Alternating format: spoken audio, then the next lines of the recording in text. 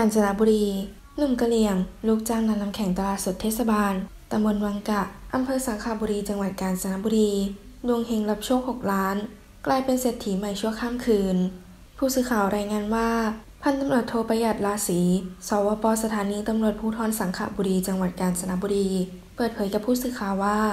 นายโพทูไม่มีนามสกุล หนุ่มกะเหรี่ยง 36 ปี ถือบัตรประจำตัวซึ่งไม่มีสัญชาติไทย เดินทางมาเพื่อขอลงบันทึกประจำวัน ด้วยหน้าตาตื่นแสดงความดีใจ ที่ตนเองได้ถูกสลากกินแบ่งรัฐบาล งวดวันที่ 31 กรกฎาคม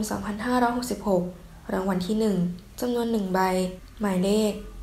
260 453นายโพทูไม่มีนามสกุล เปิดเผยกับผู้สื่อข่าวว่า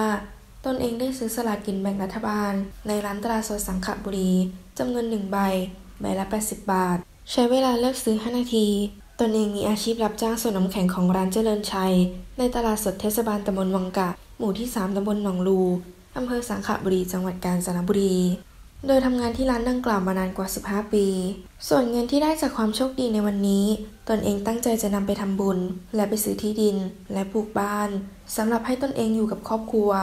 ขณะนี้ตนเองยังไม่มีภรรยา เป็นหนุ่มโสด รู้สึกดีใจมากที่โชคดีถูกรางวัลลอตเตอรี่ที่ 1 ได้เงิน 6 ล้านบาทในครั้งนี้ และจะยังทำงานอยู่กับนายจ้างที่ร้านน้ำแข็งเหมือนเดิม ปกติตนเองก็ชอบเสี่ยงโชคด้วยการซื้อสลากินแบ่งรัฐบาลทุกงวด โดยจะซื้อเพียงงวดละหนึ่งใบ ครั้งนี้ก็เช่นกัน เมื่อถามว่าได้เลขเด็ดมาจากไหน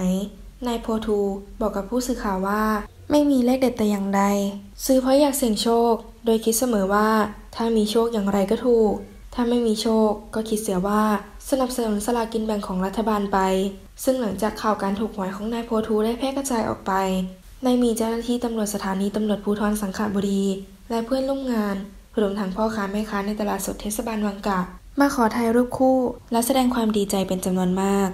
ข่าวนี้24 กาญจนบุรี ชุติการไหลวาลิน รายงาน